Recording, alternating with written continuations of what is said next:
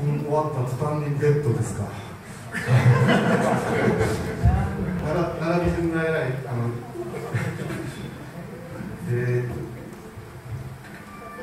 この大人の歌をですね沢田真希があ歌ったベッドをベッドでタバコを吸わない、えーこれはですね男性ボーカル新藤恒夫さんが 心を込めて忘れました。